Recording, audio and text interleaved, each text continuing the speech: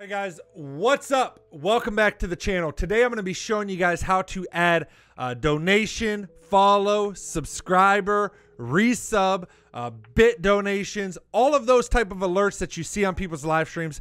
I'm going to show you guys how to add those into your OBS as well as how to change the different settings for them, including different variations uh, that you may need. For example, uh, lately, I've added scary dono sounds, meaning if somebody donates an exact amount of money via PayPal to me, uh, or using Twitch bits, uh, it signals different scary sounds, you know, jump scare type sounds, uh, to scare me while I've been playing horror games for the month of October on our live streams. I've had several of you guys ask me how I do that, so I thought this video would help you out with that, as well as just how to set them up in general. All right, so let's go ahead and roll the intro, and then we'll jump into it.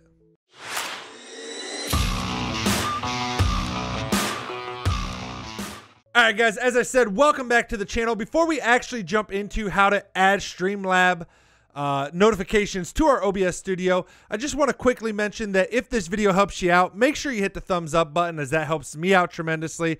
Also, if you're not subscribed and you like videos like this one, uh, go ahead and click the red subscribe button down below, as well as ring the bell next to it to be notified when I post new videos. Lastly, if you have any additional questions or there's something I mentioned in the video that you don't quite understand, uh, I do stream myself over on Twitch every Tuesday, Thursday, and Saturday evening. Uh, I'll put the link here on screen now as well as down in the description below. And last but not least, uh, if I'm not streaming and you have any questions, make sure you check out our Discord. It's growing pretty quickly. Uh, a link for that will be down in the description as well, but it's a great place to get some additional help and resources if you're a small streamer starting out and, and need some additional help. All right. With all that said, let's go ahead and jump in. I'm going to try to get straight to the point so this doesn't take up too much of your guys' time. Uh, so this is actually pretty easy. Uh, I use Streamlabs for all of my uh, alerts and everything for my donations just just overall for everything i use streamlabs uh, a competitor that you might have heard of is called stream elements it doesn't matter which one you use it's pretty much the same thing uh, but for this video i am going to be using streamlabs so we're going to go ahead and go into our dashboard and now if you are using you see here download streamlabs obs you could use OB, uh, Streamlab OBS, which is just a version of OBS. Uh, as I said, for this tutorial, we're using OBS Studio. If you do use Streamlabs OBS, it does have integration directly with this so that you can have the alerts and everything without having to manually add it in. However, I do think uh, if you're a new streamer, you're much better off just going with OBS Studio and sticking with it and learning it. Uh, while it might be a little more complicated in the beginning, uh, overall, it's it's a better option. So use an OBS Studio, but we still want to use Streamlabs for the rest of our stuff. Uh, let's go ahead and do that then. So once we're in the dashboard, we're to go ahead and click on our alert box. Our alert box is what's to give us all of the different alerts on our stream. So, for example, uh, when we get into here, you can see that the first thing that you need to do is add your alert box to your stream. So it tells you right in this box that there's a URL here. You can click this button to show it. I won't because this is a URL that you should not be sharing with anybody else. It uh, has some personal information and stuff in it. Uh, so you can basically take this URL, add it into OBS as a browser source, uh, and then that's going to allow it to pop up on your live stream. So we're going to copy the URL, alertbox URL copied, and then we're going to go into our OBS studio and we have our scene set up, let's say. So here I have a brand new scene. There's nothing in here. What you'll want to do is click on the plus under your sources. So you already have your webcam in here. You already have your game source running in here. Uh, so you'll click the plus button down here and click browser to add a browser source. So we can create a new, you can name this whatever you want. As you can see down in my existing, I have it called Streamlab Alerts. Just for the example, we'll call it Alerts. I will end up deleting it. But once we add it in, it says you get you get this prompt. It says you just added the browser source. So here where it says URL, that's where you're going to want to paste that URL that we just got from the Streamlabs alert box section of Streamlabs website, the one that's hidden here that we copied the URL from. So we're going to paste that there, and then our width and our height, we're going to go ahead and set it to our stream. So, for example, I do a 19, I do a 1080 stream, so that would be 1920 by 1080, uh, and then we're going to post or paste our URL, and then we're going to hit OK. So now we have it pasted in. So now the next big thing you want to do is you want to make sure that this is on the top of all the rest of your sources.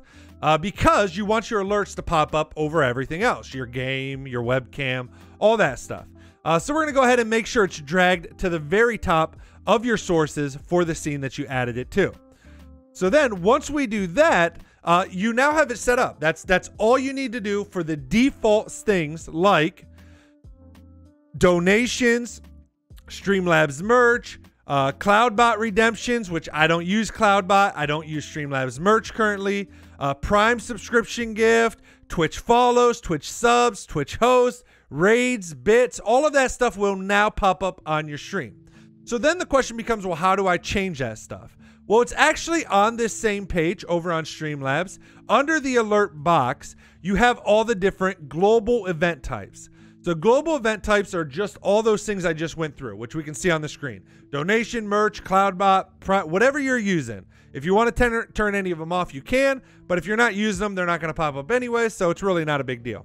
So then to change specific things with them, we're just going to click on one of them. So for example, we click on donation, and here we have the preview background color, what event it is, which is donation. And then down here under general and donation is how to change how everything looks. So for donation, you can select your layout. You can have it so the image is on top and then the text is below it. You can have it where the image is shown with the text over top of the image, or you can have it shown where the image is shown and then the text next to it, as well as a, myriad of other options, including changing what image or video you're using or GIF, changing the audio file and all of that, uh, font weights, everything, font colors, text animation. Uh, you can change all of that here. So then, uh, and then anytime you want to test, let me drag this off screen for a second so you guys can see here on the thing. So anytime you want to test, you do have this send test button right here. So if we click on the send test button, you guys will see there, you guys see there that it just popped up a test donation of $96, I think, I wish, uh, with the person's username. So as you adjust your settings, you can hit that send test button that you guys just saw here, and you can actually see that it's working inside OBS. Whether you're streaming or not, you can run these tests to set things up. All right. So then the question becomes once you have those all set up by going through the different ones, you can do that for follows, for subs, and again, you can test each one. So, for example, you guys saw for my donations, there's a car that comes into the screen. You know, I do like a 80s synth wave type vibe, so you can see it's a car. But now if I switch, which you guys can't see, but I switch to my follows and I hit the test for that one, you can see it's a little bit different image and everything and a little bit different layout. So this time it's a Atari game controller, old-fashioned Atari game controller, and you can do that with all of the different global event types. Then what you can do is you can go uh, a touch further and you can add different alert variations. So let's say you have donations set up in here and you have a certain one like that card that appears, but now you want to set up for that if you do a specific somebody does a specific donation amount, uh, then it triggers something differently than that default. So you can actually click on this add alert variation at the top here. You can name it. So for example here, I have uh, just them called scary for my scary donos that I was talking about for the month of October. I have it called scary and then what the amount is that somebody would have to donate. So we'll go in here and we'll just do a test. So test one, two, three, we'll call it. And then you choose event types. So choose events this applies to. So we want it to happen to, like, let's say we're setting up a custom donation amount to trigger a custom thing. We'd go donation. Now, maybe you also want it to trigger whether they do a donation via like PayPal or whatever you're using for donations or via Twitch bits. We can click both of those. So it happens whether they use uh, Twitch's bits or whether they use a donation. And then we set up our conditions for each one. So under donation, the so you can have it do it randomly. If somebody randomly donates at random times, this will happen, this event. Or if it's at least a certain amount, or if it's an exactly a certain amount, if it's the largest for this particular stream that you're doing, or if it's in cryptocurrency. So typically the most commonly used one is if it's exactly this amount. So let's say we do exactly this amount and we add $6.66. It's a scary dono. The devil's number works for that. So now we also, so we did that. You can add multiple conditions if you want. But now we also, because we did donations and Twitch bits, we need to set the condition for Twitch bits as well. So we'll do bits uses exactly. Now here, there's no decimal because, you know, it's in bits, but we still want it the same amount, 666. And then we just hit save. So now once we do that, it's going to add it here to our uh, in our variations below our global event types, as you can see all mine, test one, two, three right here. So we'll click on that, just like we did with the global. And now you have all the options over here. So for example, for our image, we could go in and we could choose, I already uploaded some. We could choose a scary image like this girl screaming, for example. And then we could choose a sound. I already have some different scary sounds. Uh, we could do something like, don't freak out. It's gonna be loud for you guys, so you know, don't don't don't die here. Uh, maybe we'll do like, uh, where's it at? Let me see. Let me see. Maybe we'll do this. I'm sorry, I just blew out your guys' eardrums. But we do that. So we select it. Then we can adjust our sound volume. So maybe we only want it at 5% because that's loud as balls. Uh, you can, again, change anything else you want to change. But then we're going to hit Save Settings up here. And once again, I'm going to drag this off screen and just hit the Send Test to show you guys. We can test that it's working. The stream's not as bad there, thank God. Uh, but you guys can see there it popped up on the screen. You guys can adjust it however you want. Uh, but there you go, just to kind of give you guys the example. And again, you can set up as many of these as you like. So you can see I have different dono sounds. I have a I have about five for each kind of amount. So I have five scary sounds that cost a dollar something.